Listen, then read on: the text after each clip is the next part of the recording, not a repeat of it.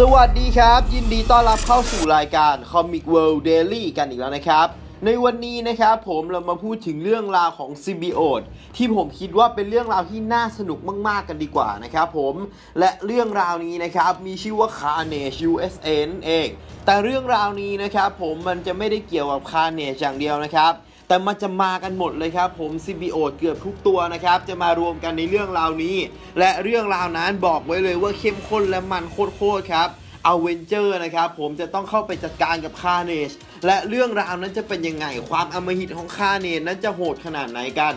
บอกกันเลยนะครับ ผมว่าเรื่องราวนี้นั้นจัดเต็มมากๆ และเราจะลงกันรวดเดียวจบเลยนะครับผมรอดูกันได้เลยจบ part หนึ่งอีกครึ่งชั่วโมงต่อมาไปดู part สอง part สาม part สี่ part ห้ากันต่อ และเพื่อไม่เป็นการเสียเวลาแล้วก็ เราไปเริ่มชม Carnage USA กันเลยดีกว่านะครับผม โดยเราจะขอเตือนกันไว้นิดนึงนะครับว่าหลายๆคนที่อ่านคอมิกกันมาประจำเนี่ยอาจจะเข้าใจผิดถึงเรื่องราวที่เกิดขึ้นใน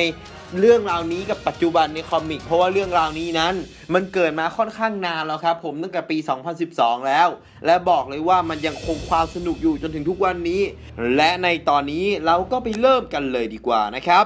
เรื่องราวของเรานั้น เริ่มต้นขึ้นที่เมืองโดเวอร์ตันในรัฐโคโลราโดนั่นเอง เมืองเมืองนี้นะครับผมดูเหมือนว่าจะเป็นเมืองที่สงบสุขมากๆ ผู้คนนั้นอยู่กันอย่างมีความสุขนั่นเองครับ จนกระทั่งเรื่องราวของเรานั้น มันเริ่มที่จะเกิดความผิดปกติขึ้นณโรงงานบรรจุแพ็กเกจเนื้อสัตว์ ในขณะที่พนักงานคนหนึ่งนั้นกำลังตรวจสอบออเดอร์อยู่นั่นเอง เขาก็จะตรวจพบกับความผิดปกติ เนื้อวัวจำนวนมากมายนั้น เหมือนถูกสัตว์ประหลาด หรือสัตว์อะไรบางอย่าง กัดกินไปจนหมดเหลือแต่ซี่โครงนั่นเอง นี่มันเกิดบ้าอะไรขึ้นวะเนี่ยขอโทษด้วยก็แล้วกัน ดูเหมือนว่าพวกเราจะหิวไปหน่อยนะเมื่อพนักงานคนนั้นนั้นเห็นสิ่งที่เกิดขึ้น เขาก็รีบโทรแจ้งตำรวจในทันที เราต้องการเจ้าหน้าที่ตำรวจมาที่นี่ด่วน เฮ้ย แกรู้อะไรหรือเปล่าเนี่ย แกไม่ต้องมาตื้อพวกนั้นให้มากมายหรอก เดี๋ยวฉันจัดการเอง ฮะ แกพูดอะไรของแกนะจัดการอะไรของแก จัดการทั้งหมดยังไงล่ะ ฉันมาที่นี่เพื่อเอาทุกสิ่งทุกอย่าง และทันใดนั้นเองร่างของคาเนนนั้น ก็ได้ปกคลุมร่างของครีตัสคาซาดีจนหมดสิ้น และเข้าจู่โจมทุกสิ่งทุกอย่างในทันที และเรื่องราวของเรา ก็ได้เริ่มต้นขึ้นที่การทำลายเมืองโดเวอร์ตันของคาเนชนั่นเองครับ จากเมืองที่แสนสงบสุข มันกำลังจะถูกเปลี่ยนให้กลายเป็นนรกบนดิน เจ้าหน้าที่ตำรวจหนุ่มนามเอลิกนั้น ได้รีบกลับมาที่บ้านในทันทีฮันน่าฮันน่าออกมาจากซิงค์น้ำนั่นเดี๋ยวนี้นะ มีอะไรอย่างนั้นเหรอที่รัก มันมีอะไรสำคัญอย่างนั้นเหรอ คุณกำลังทำให้ลูกกลัวนะเอลิกมันมาจากซิงค์น้ำออกมาจากซิงค์น้ำเดี๋ยวนี้ โคอยู่ไหนล่ะ ลูกของเราอยู่ไหน โคกำลังอาบน้ำให้น้องอยู่นะที่รักทำไมกันเหรอ ไม่ไม่มันจะเป็นแบบนั้นไปไม่ได้ เอริกนะครับผมได้รีบวิ่งไปที่ห้องน้ำเพื่อที่จะรีบไปดูลูกของเขาทั้งสองคนที่กำลังอาบน้ำให้กันอยู่นั่นเอง แต่เอริกนั้นดูเหมือนว่าเขาจะมาสายไป ในตอนที่เขาเปิดประตูเข้ามานั้น เขาก็ได้เห็นคาเนชันได้เข้าปกคลุมลูกของเขาไปเรียบร้อยแล้วหนึ่งคน ส่วนลูกชายของเขาอีกคนนั้น ก็กำลังจะถูกคาเนชเข้าจู่โจม และในช่วงไว้นาทีนั่นเองครับ คาร์เนจก็ได้เข้าปกคลุมร่างกายของเด็กทั้งสอง และเข้าจู่โจมเอลิกในทันที และหลังจากนั้นภายในเวลาไม่นานเมืองโดเวอร์ตันนั้น ก็ได้ถูกเปลี่ยนให้กลายเป็นเมืองแห่งคาร์เนจทุกๆคนที่ถูกคาร์เนจนั้นเข้าครอบงำจนหมด มีเพียงชายคนเดียวที่รอดออกมาได้ รัฐบาลนั้นพยายามจะติดต่อสื่อสารกับเมืองเมืองนี้ แต่ดูเหมือนว่าเมืองเมืองนี้นั้นจะถูกตัดขาดไป หลักฐานเดียวที่พวกเขามีอยู่กับเมืองเมืองนี้ก็คือ เจ้าหน้าที่ตำรวจที่มีชื่อว่าไบรอันเจ้าหน้าที่ตำรวจเพียงคนเดียวที่รอดออกมาได้ โดยไบรอันก็ได้บอกนะครับผมว่าคาร์เนจอะได้นำ list สิ่งที่มันต้องการมากับตัวเขาแล้ว ในตอนแรกเจ้าหน้าที่ตำรวจนั้นก็ไม่เชื่อถึงเรื่องราวนี้ครับ คิดว่าชายที่ชื่อว่าไบรอันเนี่ยอาจจะเป็นลมแดดก็เป็นได้ แต่หลังจากค้นตัวเขาดูจริง ๆ แล้ว เขาก็ได้พบนะครับผมว่าจริง ๆ แล้วนั้นไบรอันเนี่ยไม่ได้เป็นคนนำ list มา แต่ตัวเขานั่นแหละ เป็น list ที่คาร์เนจเขียนเอาไว้ หลังจากที่หน่วยพิสูจน์หลักฐาน และหน่วยการอ่านแกะลักษณะอักษรออกมา เราก็ได้พบว่ามีมากกว่า 500คำที่คาร์เนจเขียนเอาไว้บนร่างกายของชายคนนี้คลีตัสนั้นไม่ได้ต้องการจะเริ่มต้นใหม่ มันกำลังมีความคิดที่ใหญ่มากๆ มันจะเปลี่ยนเมืองโดเวอร์ตันให้กลายเป็นเมืองแห่ง symbiote และจากนั้นมันก็จะเริ่มยึดครองโลกทั้งใบนั่นเอง โดยเรื่องราวของเรานะครับ ผมก็ตัดไปที่ออฟฟิศของอเวนเจอร์สนั่นเองครับ ในตอนนี้สไปเดอร์แมนและวูล์ฟเวอรีนนั้นกำลังเล่นกันอยู่นั่นเอง โดยสไปเดอร์แมนนะครับ ผมได้ท้าวูล์ฟเวอรีนเนี่ย ว่าให้เอาแอปเปิลวางไว้บนหัว จากนั้นก็ให้ฮอว์คอายิงแอปเปิลให้โดน มันไม่เป็นอะไรที่น่าตกใจหรอกนะฮอว์คอายิงโดนอยู่แล้วใจเย็นๆ ไม่ต้องกลัวหรอกนะยังไงถึงโดนไปแกก็มี healing factor อยู่ดี แค่เอาแอปเปิลวางไว้บนหัวแค่นั้นเอง แต่ในขณะที่เหล่าฮีโร่นะครับกำลังเล่นสนุกอยู่นี่เอง กัปตันอเมริกานะครับผมก็ได้เข้ามาทำลายความสนุกทั้งหมดนี้ด้วยภารกิจนั่นเองครับกัปตันอเมริกานะครับผมได้เรียกคุยกับสไปเดอร์แมนในทันทีและเขาก็ได้บอกนะครับผมว่าคาร์เนจมันกลับมาแล้ว โดยในตอนแรกเนี่ยสไปเดอร์แมนก็ไม่ค่อยจะเชื่อนะครับผมนายไปเอาข้อมูลมาจากไหนน่ะว่าคาร์เนจมันกลับมาแล้ว CIA confirm เรื่องราวนี้แล้ว มันอยู่ในเมืองเล็กๆในโคโลราโด เตรียมตัวให้พร้อม พวกเราจะออกเดินทางกันในอีก 5 นาที สไปเดอร์แมนนั้นรีบติดต่อไปหาเบนกริมในทันที รู้สึกว่าเบนน่าจะอยู่แถวนี้นะ เราน่าจะเรียกเขามาช่วยได้ แต่กัปตันก็ได้บอกนะครับผมว่าในตอนนี้เนี่ยเราไม่มีเวลามากแล้ว ไม่จำเป็นต้องใช้ full team ก็ได้ เรากำลังจะออกเดินทางกัน และหลังจากนั้นไม่นานนะครับผมเหล่าฮีโร่ก็ได้ออกเดินทางเพื่อไปจัดการกับคาร์เนจนั่นเองครับ เหตุการณ์ของเรานั้นตัดมาที่ฝั่งของคาร์เนจกันบ้างนั่นเอง ดูเหมือนว่าเมืองโดเวอร์ตันนะครับผมจะตกอยู่ในเงื้อมมือของคาร์เนจแล้ว และประชาชนนะครับกลับตกอยู่ในความกลัวอย่างสุดซึ้งเลย โดยคาร์เนจนะครับผมก็ได้พยายามเข้ามาพูดคุยกับประชาชนในเมืองเมืองนี้ และดูเหมือนว่าคาร์เนจก็จะรู้นะครับผมว่าอีกไม่นานเนี่ยอเวนเจอร์สนั้นจะเดินทางมาถึงที่นี่ คงมีเพื่อนมาร่วมเราในบ่ายวันนี้แล้วสินะ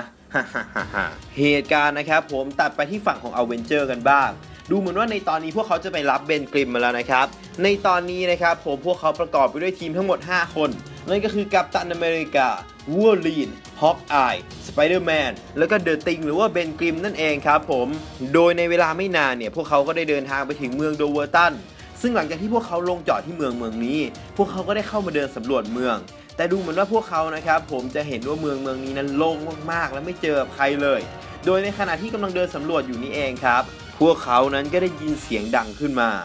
ยิ้มกว้างๆสิยิ้มกว้างๆยิ้มกว้างๆสิกับตันอเมริกานะครับผมได้พยายามเข้าไปสอบถามชายคนนั้นแต่สิ่งเดียวที่ชายคนนั้นพูดออกมาก็คือ ยิ้มกว้างๆยิ้มกว้างๆฮอกอายก็งงนะครับผมว่าไอ้หมอนี่มันเมากาวตัวไหนมาหรือเปล่าวะ แต่กัปตันก็บอกนะครับผมนั่นไม่ใช่เมาหรอก พวกเขากำลังกลัวต่างหากล่ะเพราะหลังจากนั้นไม่นาน พวกเขาก็ได้เจอกับผู้คนอีกมากมาย และผู้คนทุกคนนะครับผมก็ได้พูดเป็นเสียงเดียวกันว่ายิ้มให้กว้างๆยิ้มให้กว้างๆเอาไว้ จนสุดท้ายแล้วนี้เอง เขาก็ได้เห็นกับผู้หญิงคนหนึ่งช่วยช่วยเราด้วย พวกเราพวกเราต้องยิ้ม ยิ้ม ยิ้ม และในตอนนั้นเองคาเนสก็ได้ปรากฏตัวออกมา ฟังให้ดีนะพวกแก ฉันน่ะตัดสินใจแล้วว่าจะลงหลักปักฐานอยู่ที่นี่ ในชั่วอึดใจนั่นเอง ฮอว์คอายได้ชักลูกธนูของเขาออกมา และเตรียมที่จะส่งลูกธนูดอกนั้นไปที่หัวของคาร์เนจทันที แต่ในตอนนั้นทุกๆ คนก็ได้บอกให้หยุดลงก่อน เพราะว่าหากใครทำอะไรลงไปแล้วก็ ประชากรทุกคนจะถูกคาร์เนจจัดการนั่นเองครับ ฟังให้ดีนะ ทุกๆ คนในเมืองนี้นะมันเป็นของฉันหมดนั่นแหละ และเราก็จะได้เห็นนะครับผมว่าเซลล์ของคาร์เนจที่มันได้เติบโตขึ้นมา มันได้รัดคอทุกๆ คนอยู่นั่นเองครับ ถ้ามีใครขัดขืนคำสั่งของคาเนตก็ประชากรเมืองนี้ได้ตายหมู่กันหมดแน่ ฟังให้ดีนะพวกอเวนเจอร์ ในตอนนี้นี่ยฉันกับคาเนตกำลังคิดถึงเรื่องการ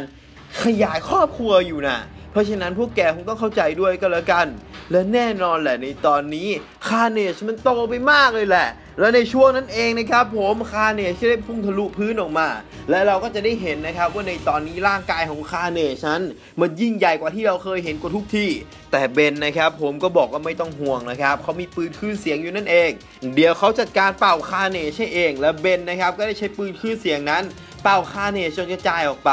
แต่นั่นแหละครับผมมันคือแผนของ Carnage อยู่แล้ว เมื่อร่างกายของ Carnage เละกระเด็นออกไปทั่วทุกทิศทางนั่นเอง มันทำให้ Carnage นั้นเข้าถึงทุกคนได้ Carnage นะครับผมได้เข้าถึงอเวเจอร์ทุกคนเรียบร้อยแล้ว ไม่ไม่ไม่ทุกคนทุกคนอย่าให้ Carnage นั้นแตะตัวพวกนายได้ สไปเดอร์แมนรีบเตือนทุกคนในทันทีแต่ดูเหมือนว่ามันจะสายไปแล้วนะครับร่างของ Carnage นะครับผมได้ค่อยๆ เข้าครอบงำร่างกายของอเวนเจอร์ทีละคนทีละคน ในตอนที่สไปเดอร์แมนนั้นจะเข้าไปช่วยดึงร่างของ Carnage ออกมาจากอเวนเจอร์ตัวจริงของ Carnage ที่ถูกสิงสู่โดย Cletus Kasady นั้น ก็ได้เข้ามาจัดการกับสไปเดอร์แมนโถ